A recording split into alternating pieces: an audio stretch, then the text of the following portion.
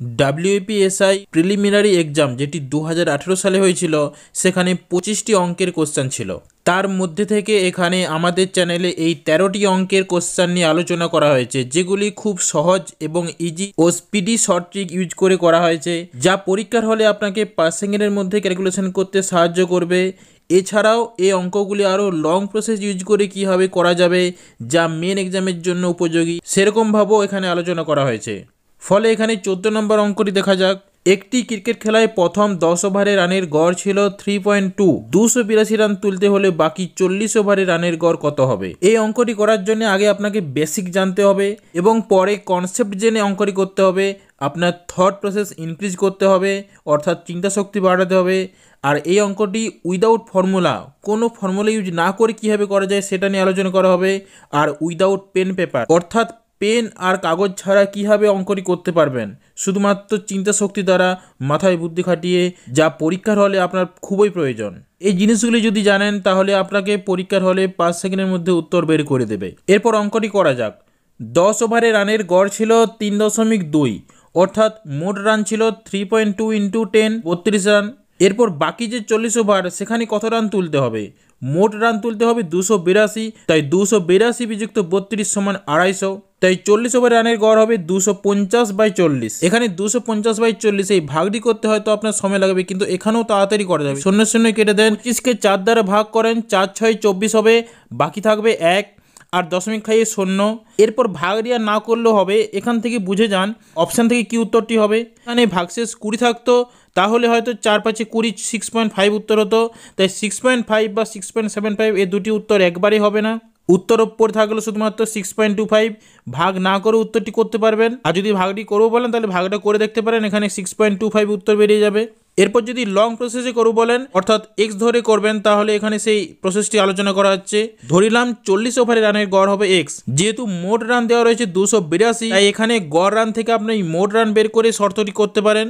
অর্থাৎ দশের সঙ্গে তিন দশমিক দুই গুণ হবে প্রথমে, তারপর চল্লিশের সঙ্গে এক্স গুণ হবে, যেহেতু চল্লিশ ওভার রানের গড় এক্স ধরেছেন। এতে যোগফল হবে দুশো বিরাশি। থেকে ক্যালকুলেশন করে প্রথমেই বত্রিশ প্লাস চল্লিশ এক্স সমান দুশো বিরাশি বেরিয়ে গেল।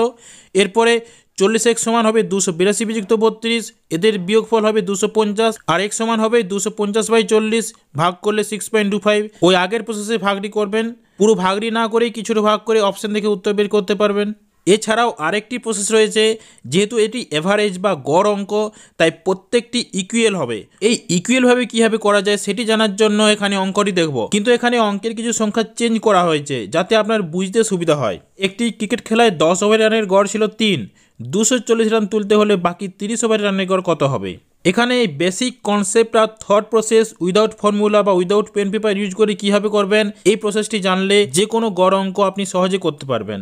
এই ইকুয়াল পেপারটি কি, সেটি এই টেবিলের মাধ্যমে আপনাকে বোঝানো হচ্ছে। অর্থাৎ গড় অঙ্কের ডান দিক এবং বাঁ দিক দুটি ইকুয়াল হবে। যেহেতু মোট ওভার তিরিশ যুক্ত দশ সমান চল্লিশ, তাই ওভারের জায়গায় মাঝখানে হবে চল্লিশ। দশ ওভার যা আগে গড় ছিল, আর পরে তুলতে হবে তিরিশ ওভারে কত গড় হবে। বোঝানোর সুবিধার্থে এভাবে লেখা হচ্ছে, এরপর এভারেজ রান কত কত ছিল? দশ ওভারের রানের গড় ছিল তিন, যেহেতু টোটাল দুশো চল্লিশ রান তুলতে হবে, তাই চল্লিশ ওভারের রানের গড় হবে ছয়। এখানে আপনাকে জানতে হবে তিরিশ ওভারের রানের গড় কত হবে, যাতে এই দাড়ি পাল্লার একদিক এবং অপর দিক দুটো সমান থাকে। তার জন্য পরের ধাপটি যায় এভারেজ ডিফারেন্স অর্থাৎ ডিফারেন্স যেহেতু আমার চল্লিশ ওভারের রানের গড় ছিল ছয় এবং দশ ওভার রানের গড় তিন, তাই ডিফারেন্স হচ্ছে ছয় বিযুক্ত তিন সমান মাইনাস তিন। অর্থাৎ টোটাল ডিফারেন্স কত হয়েছে? দশ তিনে তিরিশ, অর্থাৎ মাইনাস তিরিশ ডিফারেন্স হয়ে গেছে এখানে। তাই আমার দাড়ি পাল্লার অপর দিকে প্লাস তিরিশ রান তুলতে হবে। যেহেতু টোটাল তিরিশ ওভারে তিরিশ রান তুলতে হবে, তাই প্রতি ওভারে প্লাস ওয়ান করে তুলতে হবে। মানে এভারেজ রান হবে ছয় যুক্ত এক সমান সাত।